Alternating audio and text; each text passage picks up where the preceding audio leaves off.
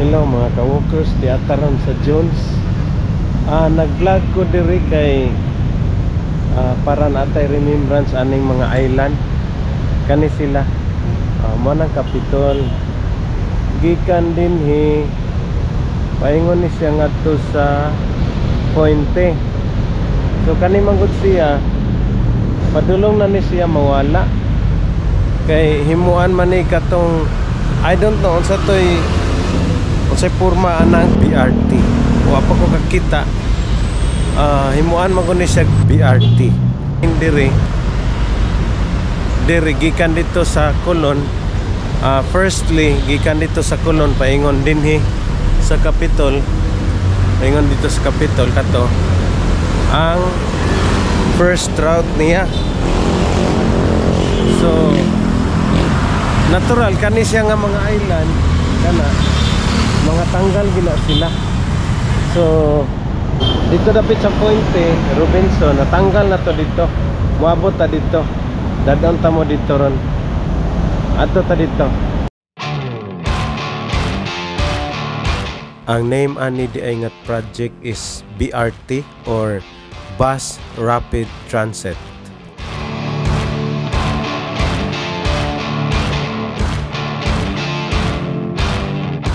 Mauning Puente Osmeña Circle I don't know kung maunsa ni siya inig-agi sa BRT dinhi pero sa akong pangagpas dito ni mag-agi sa ilalom. Maghimo siguro ni sila og tunnel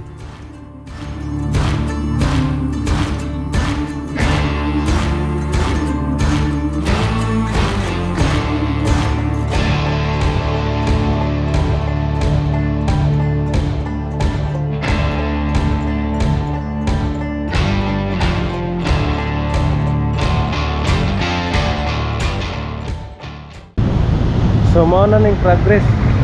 Diri ko to napa ang mga kahoy-kahoy, mga tanom pero dito ana ah, wala na. Wala na yung mga tanom. So naay nagtrabaho dito ang dapita. So mao na ni ron. Karon inyong madungog ang jackhammer ron sa bako nga nagtipak sa kining island. So nani dapit sa Robinson Metrobank o Crown Regency na dapit ni sila.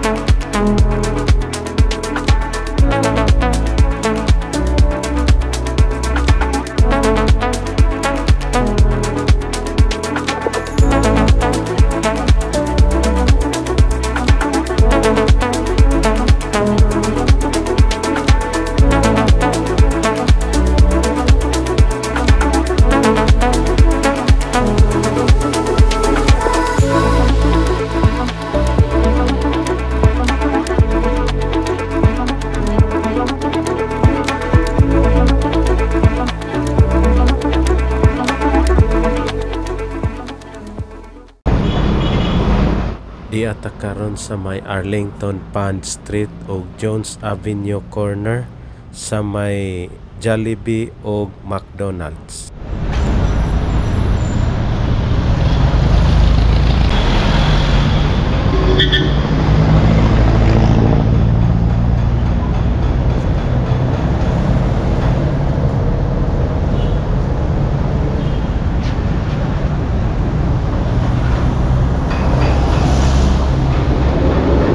Mauna ang building diya sa CAP or College Assurance Plan.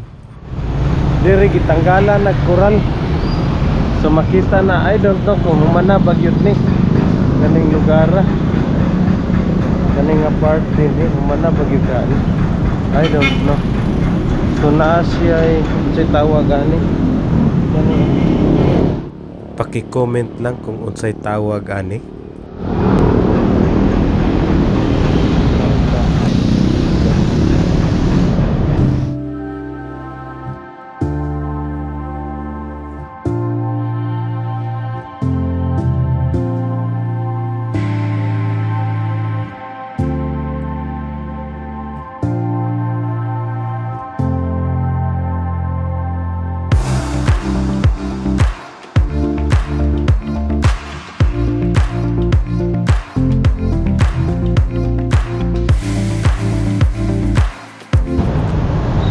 Mo ni mga koral nga gipanghipos na. So gamito na pud to sa gami- gamito na pud na sa another part aning Jones Avenue nga ah, trabaho na pud ikural na pud ni siya.